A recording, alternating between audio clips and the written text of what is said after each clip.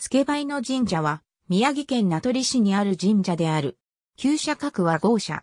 由緒書によれば、当社の創建は、慶光天皇40年、日本穂高の統制の折に勘定されたという。例祭は、統制の時から毎年4月20日に再興されている。その他にも、水任天皇の御代には八つ法に鎮座していたという説や、有略天皇の御代には、社殿が建立されたとも言われる。しかし、慶長7年に当社が野びにあった際に、古来からの文献や宝物が一切消失したため、詳細は不明である。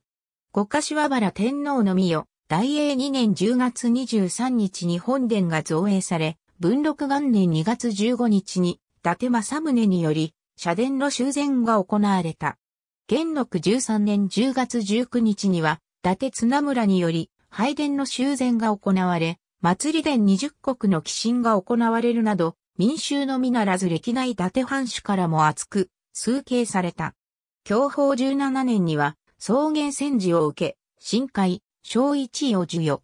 王庫から社名を、孫社、同祖神社としていたが、明治時代初期に、現在の社名である孫社、助梅の神社へ改称した。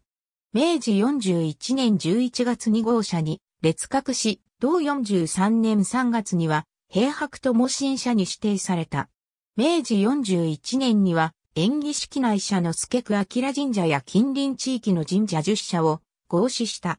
助梅の神社の祭神である、猿田彦大臣は、天孫降臨の際に進めらお孫命である、ニニギ命を先導した神とされており、そのことから、同祖神や、皇神と呼ばれている。当社の社名の、助梅の神社は、皇神の名称にちなむものである。助梅の神社は、主に人生や生活の道開き、交通安全の神社として、数形を集めており、その他にも縁結び、五国法上、商売繁盛、カウン流星のご神徳があるとされている。また、もう一柱の祭神である、雨の渦め命は、猿田彦大臣のひ神であり、天の岩戸開きの時に、岩戸の前で舞を踊った神とされる。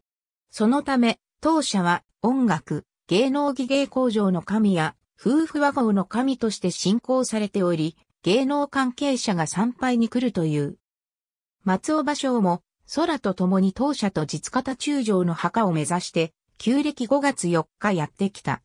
しかし、さみだれにぬかるんだ道は、長旅により疲労した二人の体には重いものがあった。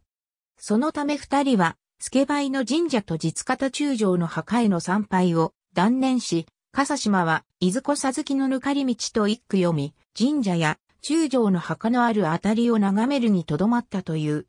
東北本線間越駅から南西に450メートルほどの川沿いの場所には、道祖、上寺の道標と呼ばれる石標がある。助久明神社は、宮城県名取市にある神社である。道の区国園儀式式内社百座の内名取郡にある二座のうちの一座である。明治41年に、助梅の神社境内に合祀されている。助梅の神社から北に 1km ほどの場所に、実方中将の墓と伝えられる史跡がある。この墓の西側の民家裏に小さな神社があり、その神社が合祀前の助久明神社の元宮である。祭神については、諸説あるが、現在は増加、三上の高見結び神とされている。源平清水記には、実方中将の墓が、当地にある経緯が書かれている。また、助久明神社元宮の北数メートルの場所には、助久明神社岩坂地と呼ばれる助久明神社の神のより代となる石積みがある。現在、助久明神社は、助梅の神社に合祀され、社殿は、境内西側に鎮座している。社殿は、春日造りのものである。ありがとうございます。